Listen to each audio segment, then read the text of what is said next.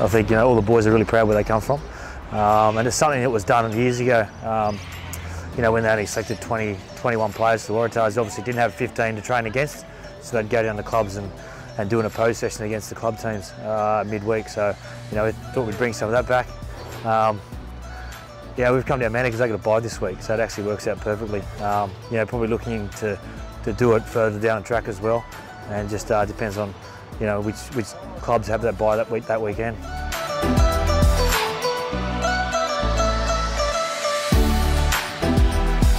Uh, mate, they, these guys just really want to learn and they want to see like what it takes to, to be pros. You know, they don't often get to touch and see pros. We get obviously our guys when they're back, but I think getting up close, you know, seeing seeing what what it actually takes to be a, prof a professional footballer.